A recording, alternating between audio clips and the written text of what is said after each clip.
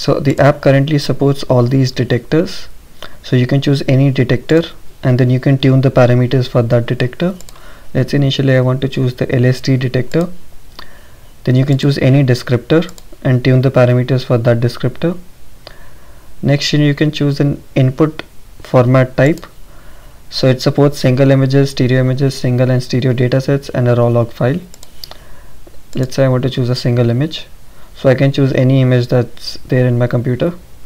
Let's say I want to choose this image. And then after that I want to I will click on evaluate detector to detect the key points. And then I will click on evaluate descriptor which computes the descriptors around each of those key points. Clicking on visualize descriptors will be visualizing e each of the descriptors when you click on any of the key points. So this is the descriptor around this particular key point. When I select this key point this shows me the descriptor around this key point. So you can do this for all key points in the image. And these lines are there because it's a line detector. If you change the detector it's just going to be just simple key points. Now let's move on to a stereo image. So here you need to specify the left and the right images so that's the left image. Now I'm going to specify a right image. Let's say I want to do it with the orb detector. And let's say I want to choose the BLD disk or let's say I want to choose the intensity domain spin image descriptor. Now when I click on evaluate detector it's going to detect the key points. This computes the descriptors then I visualize. Now when I click on any of the key points it's gonna match this key point to the best match among all the key points in this image. So this is the visualization of the descriptors around this key point and this is the visualization of the descriptors around this key point and this is the best match. So I can choose a different key point and this shows the best match as this. So this shows the best match as this which is very which looks very correct. So and this is shows the descriptor distance of all the descriptors from this particular descriptor like this is these are all descriptors in this image from this image the distances of all descriptors. Now let's move on to the raw log file. So here you can specify the input as a raw log which takes care of all MRPT datasets. So when I do this it's and uh, I click on evaluate descriptors. It's going to iterate over all the MRPT images. So I can do click on next next and it's going to show me all the images all the key points in the images. And I can choose any of the descriptors and any of the detectors to evaluate the performance over time. I can also choose a monocular image for the MRPT datasets so when I choose this it's going to show a single image since it's a monocular dataset and you can visualize.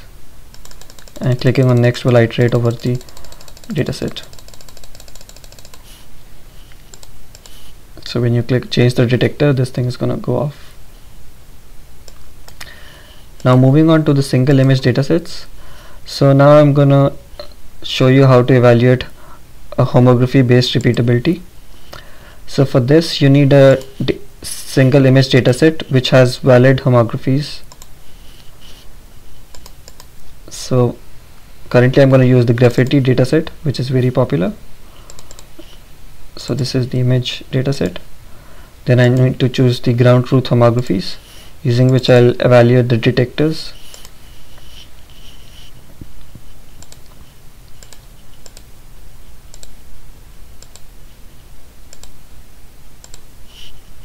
so now when I click on any key point it will show me the repeatability based on homography. And the homographies are stored in text files. So this particular key point occurs 80% of the times in the remaining dataset so there are total six images and this is the original image and five of the images are other images for which we have homographies available. So let's evaluate the uh, repeatability of this key point. This is 60% this one occurs zero times. So this one occurred five times. This is a really good key point which means it's really strong. Now moving on. Now I'm going to show how to perform visual odometry on the KITTI dataset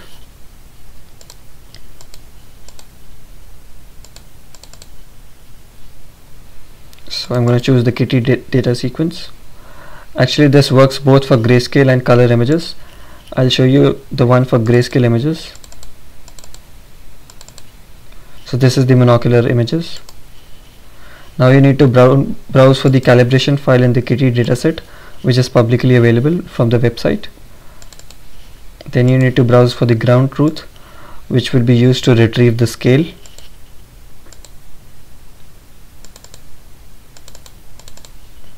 so now when you click on generate odometry it's going to start the computation of the path over the sequence of images that you've chosen. Now this takes some time because it's processing thousands of images which are there in the KITTI sequence. So for this one it's processing around 2000 images. So it's going to take a while when it's computing all the images and tracking the key points. And we're doing this currently using the ORB detector and we're detecting 100 features in each of the frames. You can change this and the performance will increase or decrease based on if it if the number of features are high then the performance normally increases. And if it's low the performance goes down. You can also tune the parameters for the detector and based on that the performance improves or reduces.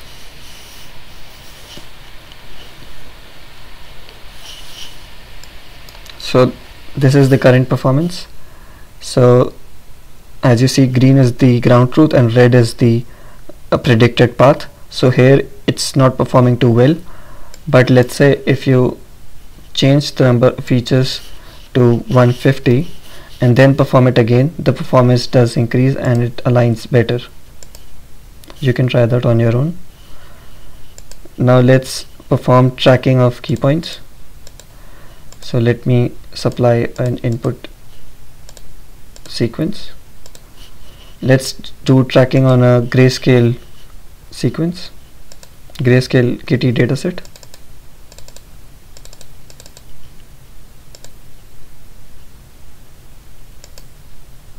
Now you can tune the tracker parameters.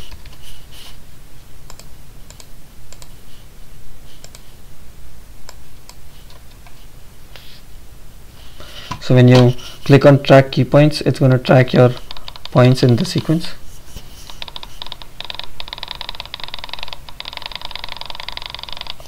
And when you want to you want to uncheck add new features so it's not going to add any new features and it's only going to stick towards the features that it currently has.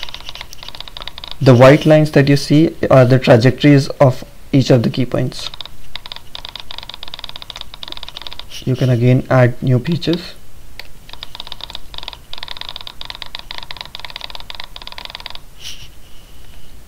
then you can again uncheck. So now let's move on to performing place recognition. So currently place recognition works on the KTH IDOL dataset. So for this you need to specify the training dataset and the testing dataset.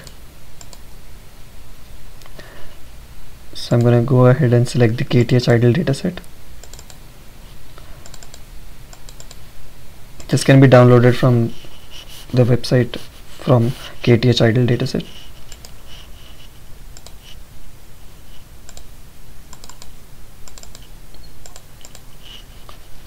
Now you can select any detector and you can select any descriptor.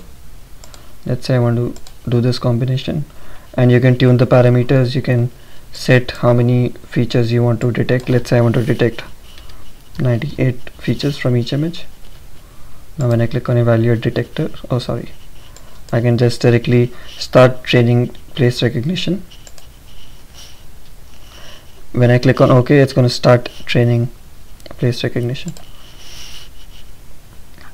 Now currently it's building the model by extracting features from each of the frames available in the dataset. Now I can recognize each of the images and see what what kind of accuracy I get so as you see the accuracy is increasing and decreasing based on what the model classifies as the current image.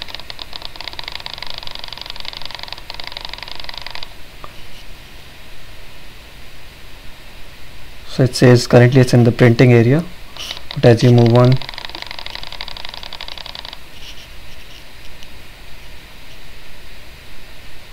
so there was a misclassification over there but again it knows that it's in the corridor.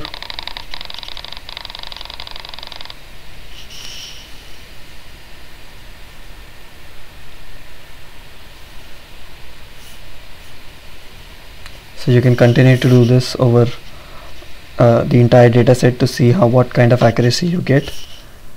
And based on your detector and your descriptor and the parameters for each of the detector and descriptor your accuracies will increase or reduce you can see what combination works best for you.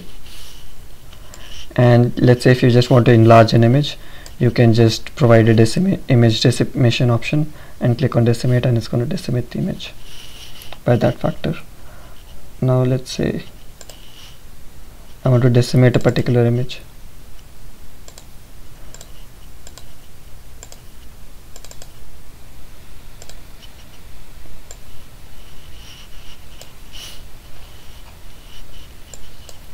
mm, let me choose a different image.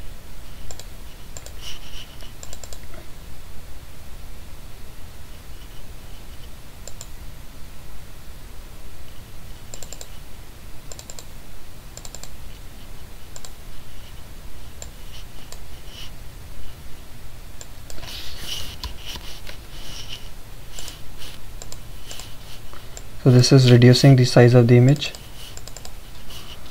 and if I want to increase the size of the image by 0.2 it's going to increase the image.